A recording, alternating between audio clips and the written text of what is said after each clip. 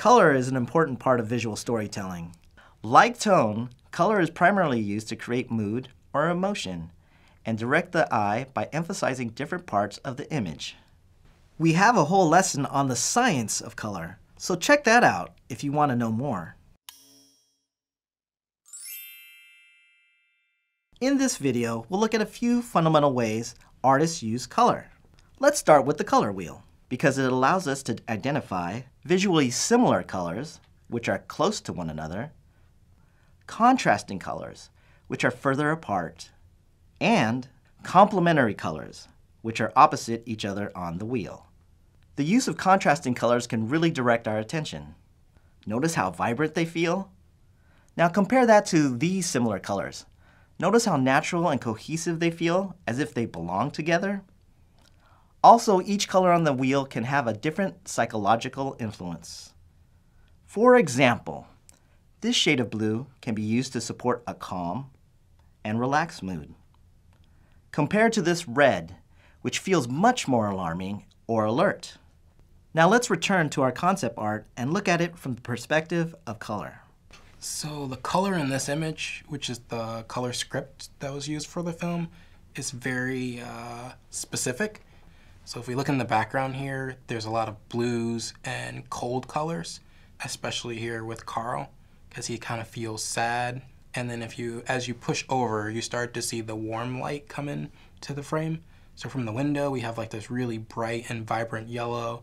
And then when we get to Ellie, she's almost wrapped in a warm reddish tone. We decided magenta would sort of be her color. And so even this piece tied onto the balloon is magenta. We wanted to, to sort of play against the theme of darkness and coldness, which is the interior of this room, everything that's surrounding her. Yet she's still full of life. The concept art, as we move forward with this moment in Up, that blue says a lot about him emotionally. It brings him down a little bit. It, it, helps us feel a little bit more somber on his behalf. We connect that balloon with Carl and with his expression as we're kind of looking at things here.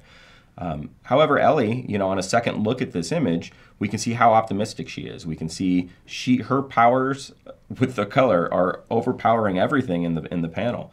Her emotion is overpowering everything with her colors.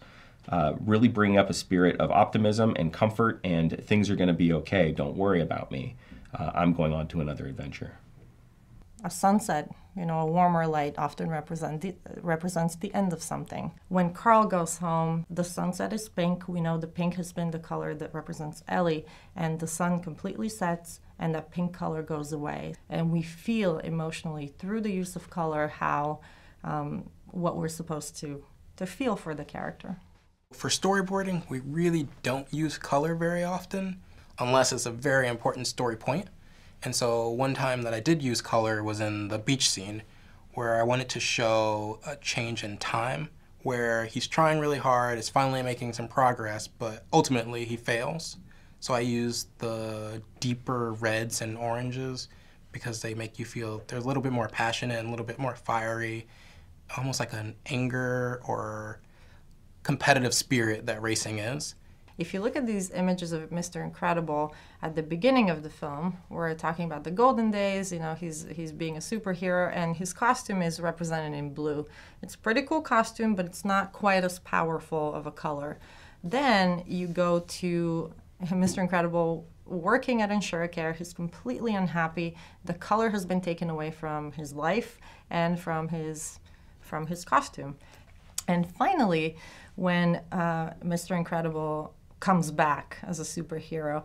We have a really powerful color, this red super suit, which is a lot better than the original one.